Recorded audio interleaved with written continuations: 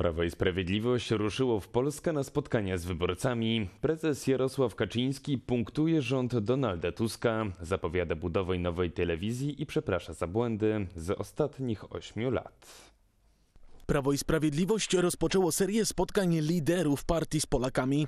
Za nami weekendowe wizyty we Wrocławiu, Poznaniu, Gdańsku, Lublinie i Kielcach. Wszędzie była dobra frekwencja, zauważa socjolog profesor Arkadiusz Jabłoński. Ludzie czeka, czekają te spotkania, e, to znaczy czekają na jakąś reakcję w ogóle Prawa i Sprawiedliwości. Chcą, żeby coś się działo po, e, po stronie e, Prawa i Sprawiedliwości, bowiem no samo, samo tylko i wyłącznie bronienie instytucji, ludzi przed atakami ze strony władzy to za mało. Prawo i Sprawiedliwość punktuje pierwsze tygodnie rządów Donalda Tuska.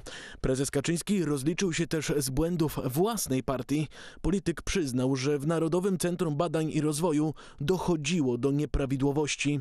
Centrum planowało dofinansowanie kwotą ponad 170 milionów złotych dwóch firm, które nie spełniały podstawowych warunków konkursu, a ich właściciele byli powiązani z Partią Republikańską Adama Bielana. Tutaj sami musimy się trochę uderzyć w piersi, że to był ten ośrodek, który miał wspierać naukę, wspierał różne brudne interesy. Prezes Kaczyński przyznał także, że rząd Prawa i Sprawiedliwości popełnił błędy przy wprowadzaniu Polskiego Ładu, choć wielu Polaków skorzystało wówczas na przykład na podniesieniu kwoty wolnej od podatku, to jednocześnie wzrosły koszty przedsiębiorców. Mogę panu tylko teraz powiedzieć, przepraszam, pomyliliśmy się i się naprawimy. W górę poszła wówczas składka zdrowotna. O problemie od dawna alarmował rzecznik małych i średnich przedsiębiorców Adam Abramowicz. Problem y, bardzo ważny, dlatego że dotyczy firm, które mają niskie dochody, a w Polsce istnieje system składki ryczałtowej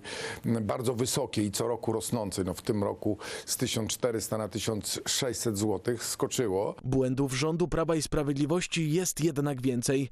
Piątka dla zwierząt, nepotyzm w spółkach Skarbu Państwa, kierowanie publicznych środków na wątpliwe cele, na przykład na elektrownię w Ostrołęce, czy funkcjonowanie mediów publicznych przez ostatnie 8 lat.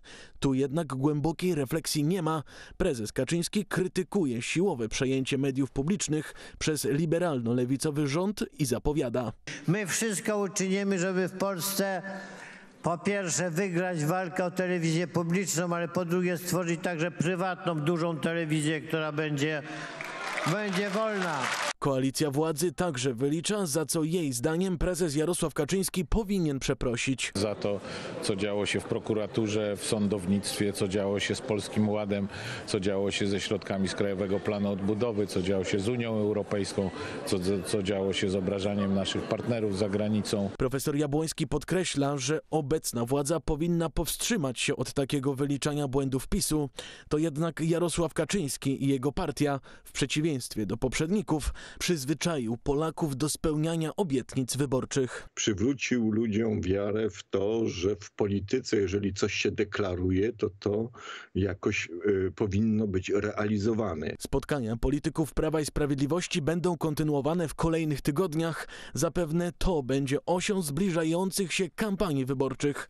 W kwietniu wybory samorządowe, w czerwcu do Parlamentu Europejskiego.